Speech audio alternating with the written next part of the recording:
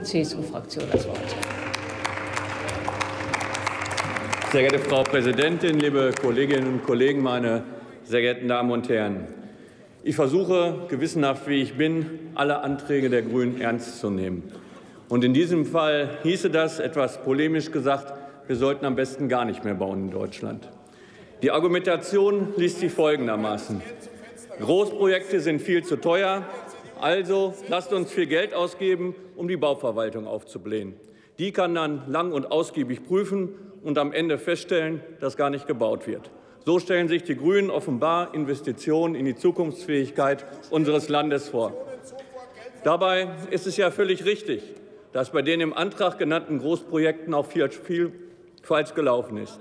Und dafür werden auch zutreffende Gründe genannt. Mangelnde Kompetenz, politische Änderungswünsche und fehlende Öffentlichkeitsarbeit. Aber der Handlungsbedarf ist doch längst erkannt. Die Bundesregierung hat im letzten Jahr einen Reformbericht vorgelegt, der viele richtige Punkte benennt. Wie Sie angesichts von neuen Handlungsfeldern und 34 Maßnahmenempfehlungen im Bericht, Herr Hofreiter, ich hoffe, Sie kennen die Dinge, und der Ankündigung eines jährlichen Sachstandsberichts des Bundesbau darauf kommen, dass es, ich zitiere aus Ihrem Antrag, keine weitergehende Initiative gibt, ist mir wirklich ein Rätsel.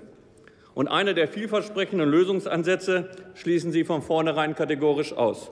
Im Antrag wird der vollständige Verzicht auf öffentlich-private Partnerschaften gefordert. Mit der fadenscheinigen Begründung, es gebe keine unabhängigen Untersuchungen zu diesem Thema. Das ist doch, Herr Kühn, Ideologie pur. Klar, es gibt bei ÖPP-Projekten Risiken, aber das ist doch kein Teufelswerk. Mit klaren Regeln und weihwasserdichten Verträgen kann man das in den Griff bekommen. Und natürlich muss man bei der Auswahl der privaten Partner auf Qualität und Seriosität achten. Aber anstatt ÖPP-Projekte zu untersuchen und zu verbessern, wollen Sie sie einfach abschaffen. Das ist mal wieder grüne Verbotspolitik in Reinkultur. ÖPP ist ein guter Ansatz, um Gemeinwohlorientierung und effiziente Leistungserbringung zusammenzubringen.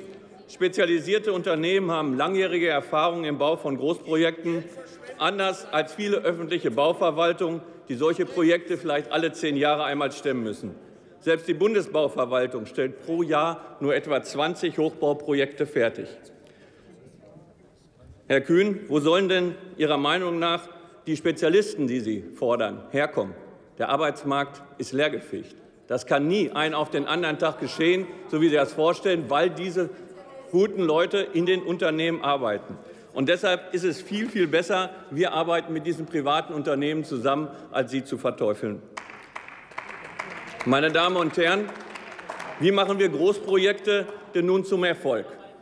Ein Hauptgrund für die vielen Negativbeispiele ist sicherlich die Komplexität verbunden mit dem hohen Kostendruck. Nur Insider sagen Begriffe wie RB Bau, RZ Bau und Z Bau etwas. Das sind die kleinteiligen Regelungen zur Umsetzung öffentlicher Bauvorhaben.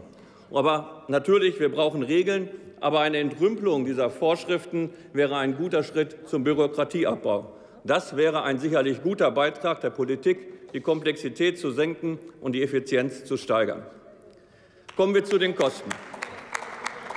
Anbieter sind regelrecht gezwungen, zu günstige Angebote zu machen, wenn sie überhaupt eine Chance bei den Ausschreibungen haben wollen. Dabei sind die Planungs- und Ausführungsphasen bei Großprojekten viel zu lang um belastbare Aussagen über Baukosten und Bauzeiträume zu treffen. Nachher darf es dann natürlich nicht wundern, wenn die Kosten explodieren. Hier muss man sich am Anfang ehrlich machen und auf höhere Qualität setzen und von Anfang an die Preisentwicklung und andere Risiken einplanen. Das ist auch nötig, um die Bürgerinnen und Bürger mitzunehmen. Wir dürfen aber nicht den Eindruck erzeugen, dass ihre Steuergelder verschwendet werden. Und genau das passiert, wenn die Summen Stück für Stück im Nachhinein nach oben korrigiert werden müssen. Wenn man von Anfang an ehrlich plant, wächst auch die Akzeptanz für Großprojekte. Und es ist ja nicht so, dass Großprojekte grundsätzlich zum Scheitern verurteilt sind. Das Berliner Stadtschloss zeigt, dass man mit der richtigen Herangehensweise auch bei einem großen Projekt Erfolg haben kann. Angefangen bei der frühzeitigen Bürgerbeteiligung über eine strukturierte und realistische Planung bis hin zu einer soliden Finanzierung einzelner Bauabschnitte wurde hier vieles richtig gemacht. Das Berliner Stadtschloss ist ein Best-Practice-Beispiel, wie man Großprojekte anpackt. Meine Damen und Herren, Einsicht ist der erste Schritt zur Besserung. Im Gegensatz zu den Grünen bin ich daher sehr zuversichtlich, dass wir unsere Effizienz bei großen Projekten in Zukunft steigern werden. Viele dieser Projekte bringen unser Land kulturell, technologisch und wirtschaftlich voran. Darauf können und sollten wir nicht verzichten. Vielen Dank.